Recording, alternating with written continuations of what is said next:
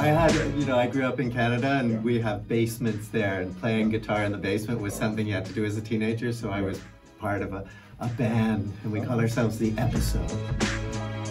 So the room is specialised for making electronic music of whatever kind, you know, be that classical or pop or rock.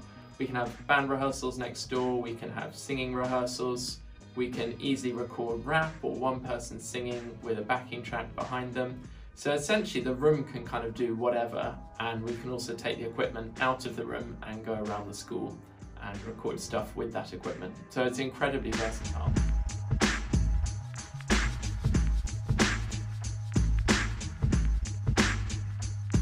When I heard about the idea of building a recording studio, I thought, wow, unleash the talent at, at the college.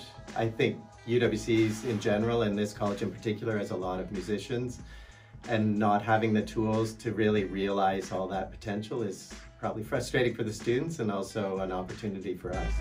So I, th I, think the benefit of the studio is that it's encouraging students to make music in ways that we couldn't previously do at the college. So we've got a really nice setup here with Ableton and MIDI keyboard and mics next door. And I think that the kind of physical presence of this room is causing students to try things that they might not otherwise have done. So during my classes now, quite often, there's one student composing in here using the MIDI keyboard and there's another next door using the amazing synth that we have. And then lots of students who've perhaps found music a bit scary before, this room makes music more accessible to people.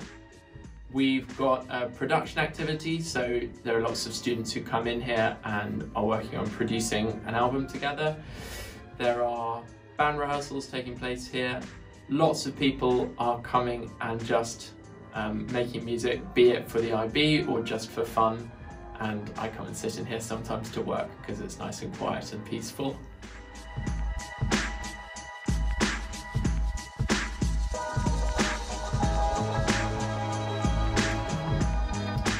I don't think that this is something that the school itself could ever have provided and so to have the support of the Mousetrap Fund is really transformational for what we can do in this department and I'm personally incredibly grateful. The um, building of this room is really timely because this is the first year of the new IB music course and the new course involves a lot more experimentation, particularly creative experimentation. And previously that was really difficult for most students, particularly the ones who didn't read sheet music.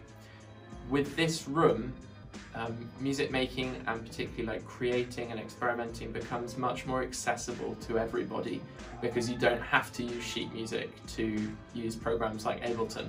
So I think that the presence of this studio will make the music course much more accessible to a much broader range of musicians and hopefully enable the students who are less comfortable reading sheet music to do really well. And for me, I've always been a huge believer that the arts are undervalued in education, so it's, it's a great combination for the college, so we're very grateful.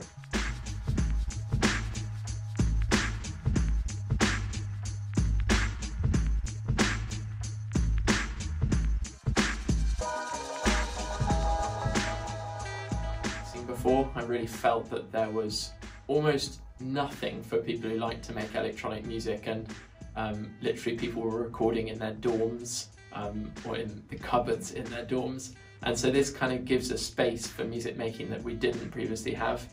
It's a whole lot of fantastic equipment um, of a quality that we don't have in the rest of the department. So I just want to say a huge thank you to the Mousetrap Fund who so generously made this room possible. It's already transformed music provision at the college and I'm really excited to see what the students are going to do in here over the next few years.